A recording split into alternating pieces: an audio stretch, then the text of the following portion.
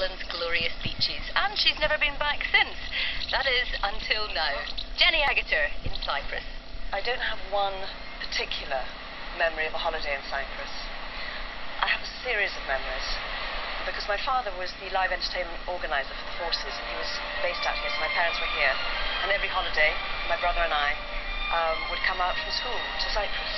And that was for a number of years. I was here from the age of 8 to 16. You've come back. Thank God at last. You've come back. And darling, I won't ask the reason why, or even try to find out, cause all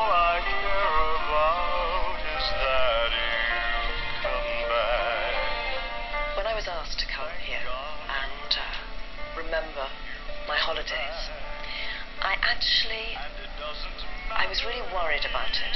I never wanted to come back. In the 29 years, I didn't really want to come back because I had such vivid and such good memories of Cyprus that I just thought it would be spoiled. I remember as a child, um, both in Nicosia and in the various villages outside, how people would sit in their doorways and, you know, they'd either be um, peeling vegetables or sitting and sewing, and you'd often see the old ladies out there with their young granddaughters. Now there are these extraordinary resorts. I mean, they totally cater for the tourists coming over. You needn't move from here at all. There is everything. Um, there's the beach, there's water sports, um, you can go paragliding, you can do anything. Uh, but it makes people, I think, probably remain in the um, resort areas. I came to Paphos, and uh, with very, very little here. And it has just changed so entirely. There was no sense of uh, resorts, really. There were some hotels, but the tourist industry has really grown up. I mean, people sitting all of these chairs out here. I'd never have seen that in the 60s. Well, I've never done this before, so this is going to be good fun.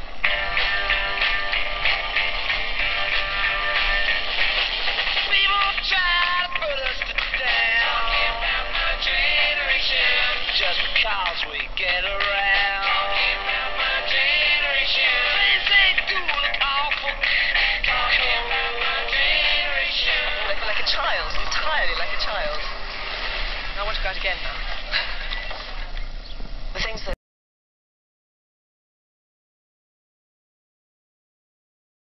the things that strike one as exactly the same are the hospitality, uh, the, the beautiful colours of the place, and the great spirit.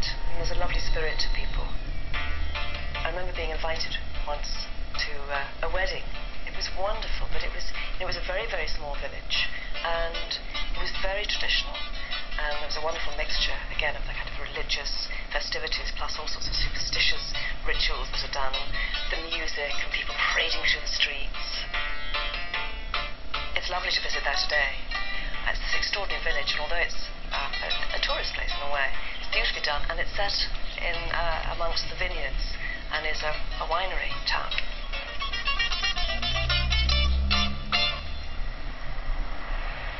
I didn't really, I think, as a child, have such an interest in um, the history, but now it's fascinating to go and really, you know, learn something about, you know, what has made Cyprus.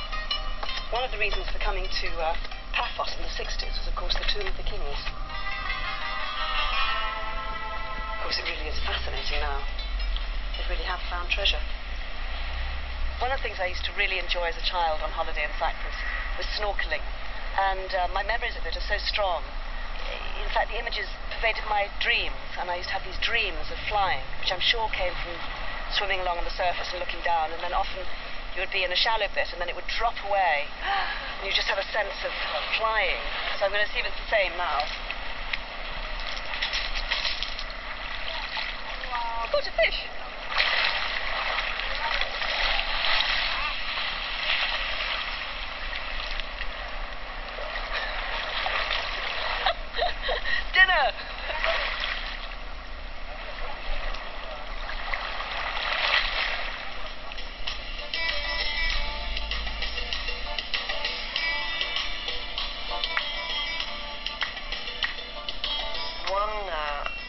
I took up um, dancing, Greek dancing, uh, which is great fun. I did it with a, a group of other people, and um, and learned very specific dances. I've forgotten completely now. I suppose if I was um, taught the steps again, I could pick it up.